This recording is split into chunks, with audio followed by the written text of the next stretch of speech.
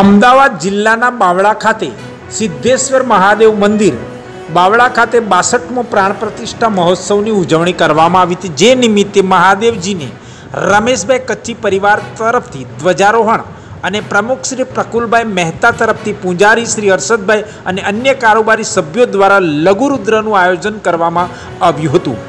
જેના યજમાન પદે લાભ કમલેશભાઈ મહેતા અંબાજી માના પૂજારી દ્વારા લેવામાં આવ્યો હતો. જેમાં સિદ્ધેશ્વર દાદાના ભાવિ ભક્તો મોટી સંખ્યામાં જોડાયા હતા.